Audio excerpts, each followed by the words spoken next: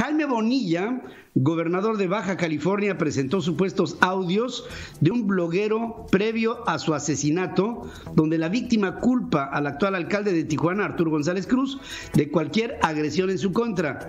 El presidente municipal dijo que pedirá licencia a partir del miércoles 14 de octubre y anunció que analiza proceder legalmente en contra del gobernador porque lo está acusando de que él es el autor intelectual del asesinato del bloguero.